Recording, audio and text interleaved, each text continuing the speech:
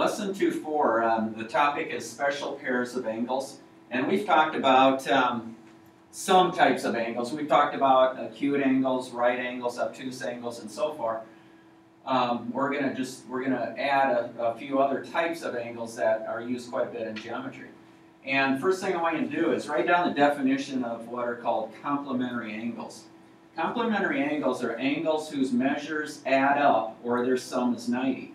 So for example, if you look at the uh, green triangle at the bottom, uh, notice that um, if I label this, oh, we'll call this triangle ABC, um, angle, angle B and angle C, 60 plus 30, they add up to 90. So we say that 60, we say that angle B and angle C are complementary. Now there's also another way we can word that. So we could also say that angle B is the complement of C and angle C is the complement of B because they add up to 90. So they're complements of one another. They add up to 90. Now over on the right diagram, we can see that, um, I'll label this A, B, C, and D.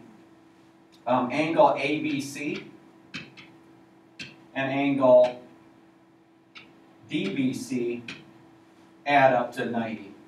So they're complements of one another. So complementary angles add up to 90. Now supplementary angles, those are angles whose measures have a sum or add up to 180.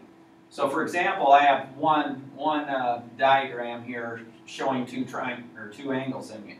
So 50, this angle that's 50 degrees and the angle that's 130 degrees. Now if I add 130 and 50, I get 180 degrees.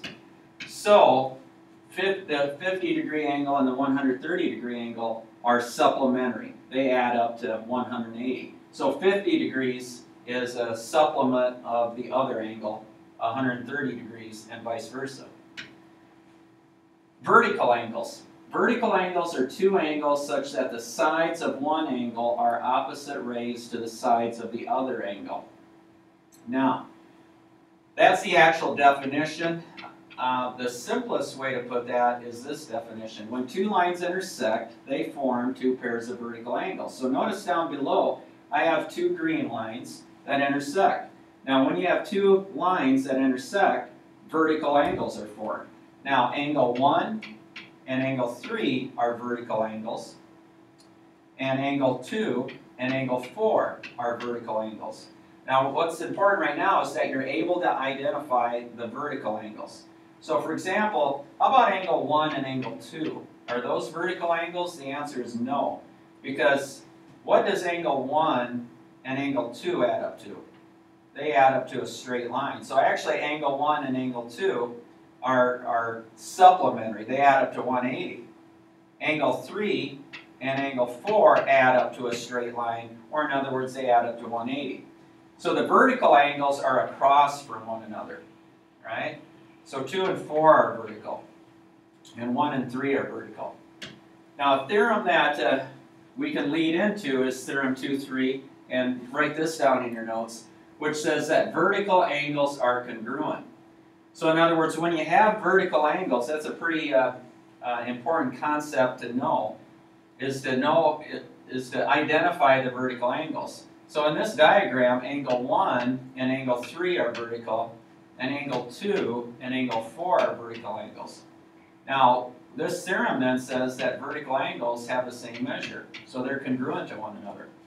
Now what we're going to do now is we're going to practice our proofs, and we're going to prove theorem 2, 3. We're going to prove that um, vertical angles are congruent. So let's go back to the theorem. I could really say that if, if um, two angles are vertical, then the angles are congruent. So I can transfer this really into an if-then statement. So the, the, the hypothesis here is that I have two vertical angles. And what I'm trying to uh, conclude is that those angles are congruent. So, let's copy down the given, the proof, and the diagram along with your two columns. Now in the given, I was given, remember our hypothesis back here, two vertical angles. So notice that angle one and angle two are vertical angles. They're across from one another. Now what we're trying to prove then is that they're congruent. That angle one is congruent to angle two. So let's, uh, let's do this proof.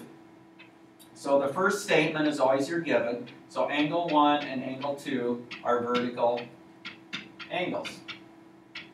And that's given. Now the all-important second step, and maybe the toughest part of the proof, is getting that second step to lead us in the direction that angle one is congruent to angle two. Now notice we're given angles. We have angles. So think about your definitions and theorems that involve angles. And remember, we cannot use theorem 2-3 because that's what we're trying to prove. But I can use anything up to that point. So think about definitions that we've had involving angles. Think about postulates. And probably the most used one is our angle addition postulate, isn't it? So let's try this. Let's say that um, um, the measure of angle 1 plus the measure of angle 3 add up to what again? 180. And let's say that the measure of angle 2 plus the measure of angle 3, those add up to 180. And the reason for that is the angle addition postulate.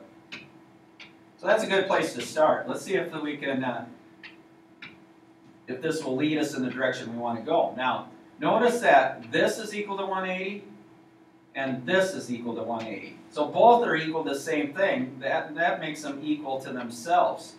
So let's write down that in statement 3, the measure of angle 1 plus the measure of angle 3 equals the measure of angle 2 plus the measure of angle 3. And the reason is substitution. Substitution property. Now we're, we're about done. Now if I, notice I have angle 3 on both sides. Now I can solve this. What would happen if I subtract the measure of angle 3 from both sides? They cancel, right? And all I have is that the measure of angle 1 equals the measure of angle 2. Or in other words, angle 1 is congruent to angle 2. That means the same thing. So, the reason for that is the subtraction property. And so, we've proven that vertical angles are congruent.